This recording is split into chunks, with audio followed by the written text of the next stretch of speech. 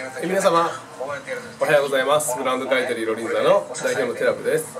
えこの動画は高価買取ブランドとその特徴をまとめてお話しさせていただいております。えその他にもいろいろ撮っておりますのでえご参考にしてみてください。えロリンザで私がえー、ロリンザでもそうですがこの動画のブランドは大体どこに行っても高価買取かと思います、はい。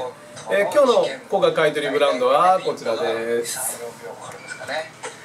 ですねなぜお客様はもう一度来てくれたのか。ルネですね、はい、ルネの今日はカーディガン薄手のカーディガンを取り上げさせていただきましたえー、ルネの薄手のカーディガンはとても人気が高くてですね、えー、ルネベーシックや、えー、こちらのルネですね。一般的なルネいろいろ出ておりますが、え半袖でも結構ですしこのような、えここの部位が深いものもっと部位が浅いもので三つボタンのもの、えショート丈ロングさまざまなものが出ておりますが今日はこのような春夏物の薄手のまあ、ちょっとワンピースのノースリーブのワンピースに羽織るやつですね、えー、が、えー、とても今回買い取りになります。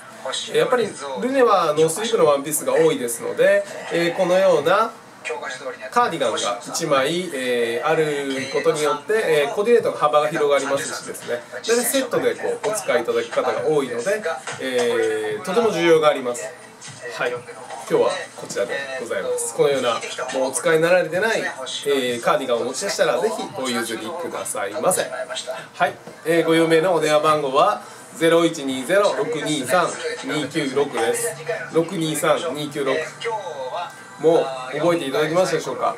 ロリンザに吹くうろです。ロリンザにルネウロをお願いいたします。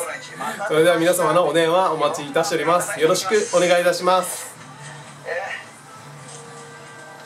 はい。